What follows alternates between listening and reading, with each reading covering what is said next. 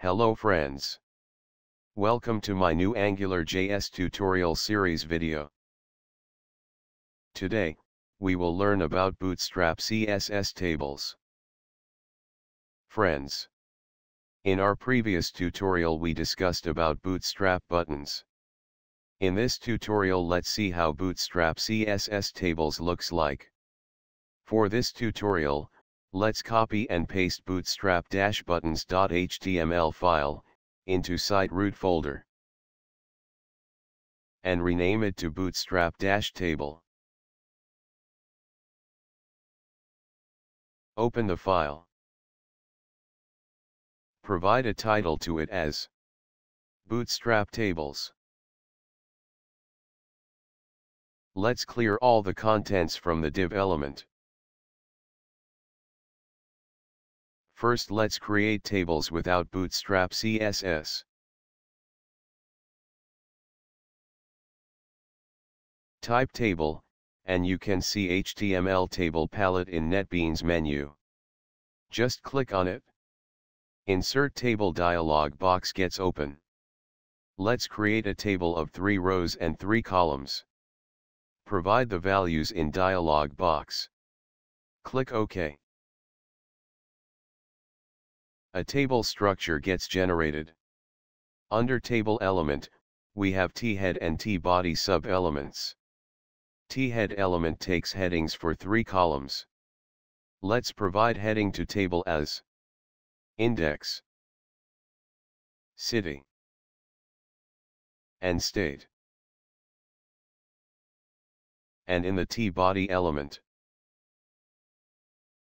Let's provide names for three cities and three states as demonstrated.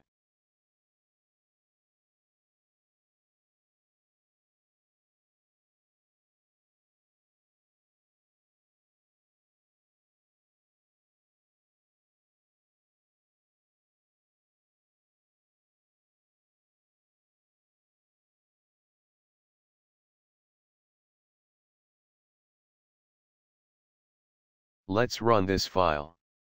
You can see on browser, it has created a table having three records for city and states, without Bootstrap CSS.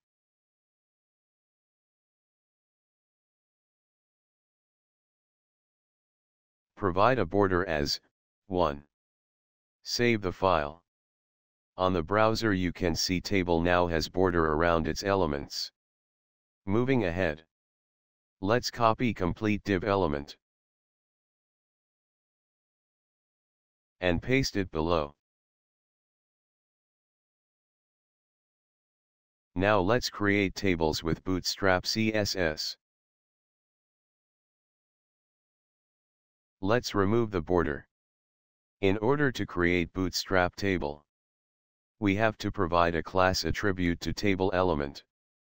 This class attribute will take in the name of Bootstrap CSS class.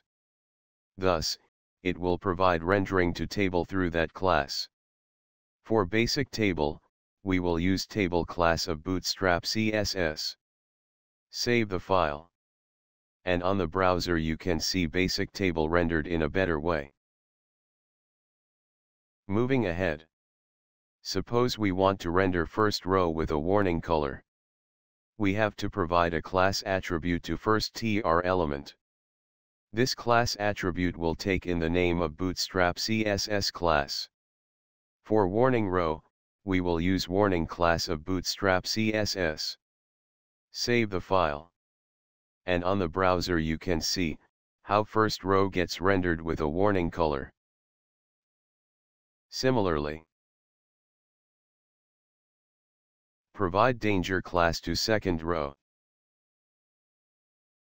And you can see on browser second row gets rendered in danger color. Similarly, provide success class to third row. And you can see on browser third row gets rendered in success color. Moving ahead. Let's copy complete div element. And paste it below, to see some more features of Bootstrap table. Now first let's create a table with border. In order to provide a border to table, we have to use table-bordered class along with table class. Save the file. And on the browser you can see table gets rendered with a border. Similarly, table-stripped class, will strip off the border, as demonstrated.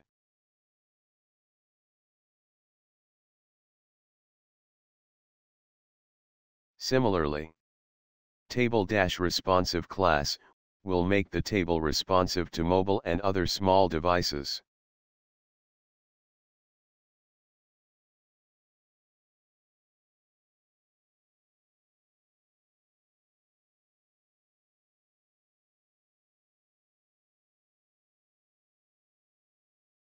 Similarly, table-condensed class, will make the table shrink and take minimal space.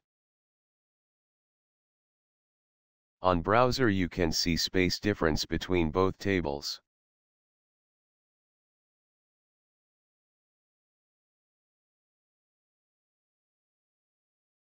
Moving ahead.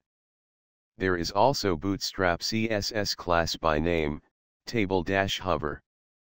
When it is used on a table, it gives a hover effect when mouse gets positioned over the table. On browser you can see, when I position mouse on table, it gives a hover effect.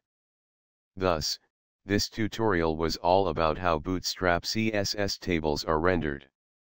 In upcoming AngularJS tutorials, we will be using them frequently. So friends, go through this video 2 to 3 times so that, Bootstrap CSS tables, concept gets more clear to you. Hope you like this video. Please give one minute to like, share, comment or subscribe my channel, or you can visit my website at www.hubberspot.com.